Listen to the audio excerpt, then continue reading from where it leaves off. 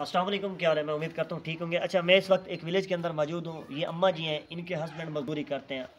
जो अंकल जी की उम्र है, वो है पचास, पचपन साल। और अम्मा जी के घर में वाशरूम भी नहीं है, इनकी जवान बेटियाँ और छः बेटियाँ अल्लाह पाक ने इनको बेटा नहीं दिया। अगर बेटा दिया होता तो अल्लाह जो है इनका एक सहारा बनता माँ बाप का, और जो है ना वो कमाता और माँ बाप को खिलाता। बट ये अल्लाह पाक के मर्ज़ी का काम है। उसके बाद जो है ना, इनके पास ना वाशरूम है। बच्चों के आप देख लें शूज़ तक नहीं है।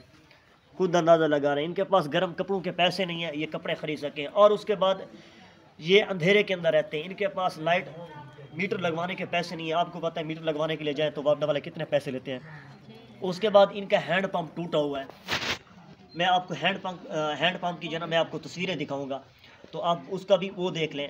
तो इनके लिए जो मेन मसला बना हुआ है, वो वाशरूम का है। क्योंकि इनके पास नौजवान की बेटी है।